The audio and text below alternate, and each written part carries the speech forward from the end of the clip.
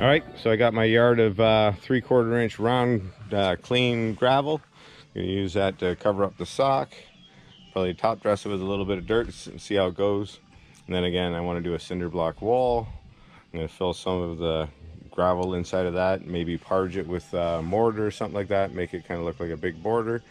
Brick around this uh, this spot for the uh, sub pump, and hopefully our water problems will be gone. Anyway.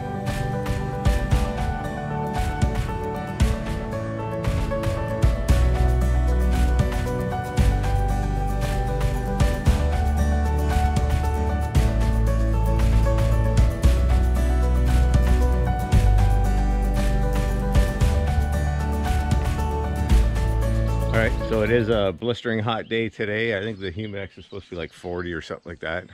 It's not even noon yet, and oh, I've been swimming all day long.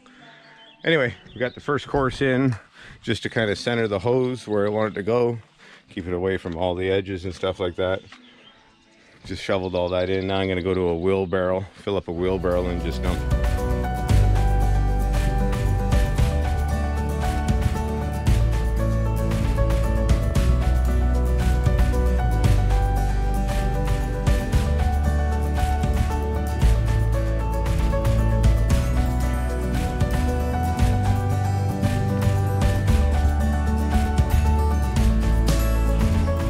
All right, so thrown a couple layers of gravel on there, kind of cleaned up my overflow here because it was all getting in the grass. I hate gravel in the grass, drives me crazy.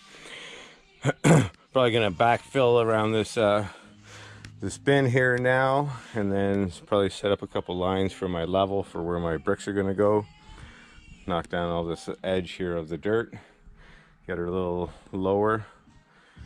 And uh, like I said, I'm gonna have a block of cinder blocks that are gonna pretty much go, you know, two feet away from the wall, raised up to where I figure the water's not gonna be an issue. And then any overflow will go off to the sides.